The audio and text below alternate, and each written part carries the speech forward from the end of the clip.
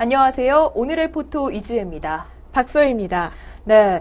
지난 10일 밤 10시 48분경 이 대전 유성구 구암동 1층짜리 상가의 입주 점포 7곳에서 불이 났습니다.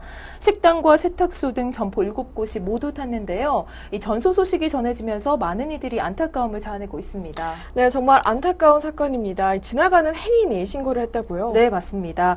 이 화재 직후 소방서에는 지나가던 행인들로부터 이 상가에 연기가 많이 새어나오고 있고 또 건물 밖에서도 불꽃이 보인다는 어, 신고가 빗발쳤다고 합니다. 네, 사고가 발생하고 진화가 되기까지 50여 분이 걸렸다고 네. 들었는데요. 그런데 어, 이 조기 진압에 실패를 해가지고 더 피해가 커진 건 아닌가라는 생각이 들거든요. 어, 이 언론에 따르면 이 그렇지 않다고 말하기는 어렵습니다. 이 소방당국은 소방차 23대와 또 100여 명을 투입해 진화에 나섰지만 어, 경량 철골 구조라, 철골 구조라고 하는데요.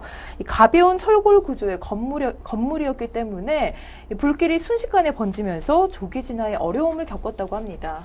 네, 가벼운 철골 구조였다니요. 네, 이 기본적으로 처음 건물을 지을 때 비교적 살이 얇은 형광을 써서 건축물을 지은 건데요.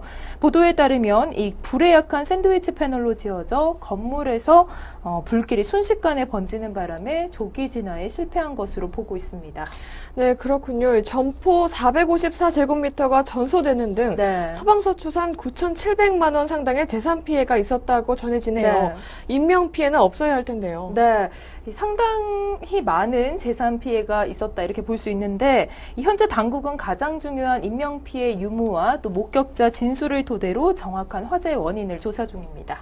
네, 불길을 번지는 걸 보고 네. 한 인근의 점포 주인이 또 혼절을 해서 네. 병원으로 이송이 됐다라는 소식에 이 네티즌들이 정말 안타까운 이 글이 계속 올라오고 있죠. 네, 정말 안타까운 소식인데요. 이 소식을 접한 네티즌들은 어, 대전 점포 7곳 전소 어쩌다 이런 일이 그리고 또 점포 주인들 충격일 듯 정말 안타깝다 또 깜짝 놀랐다 사람이 안 다쳐서 다행이다라는 반응을 보이고 있습니다. 네, 그래도 아직까지는 인명 피해 소식이 들리지 않아서 그나마 다행이라는 생각이 네. 드는데요. 그래도 너무나 안타깝습니다.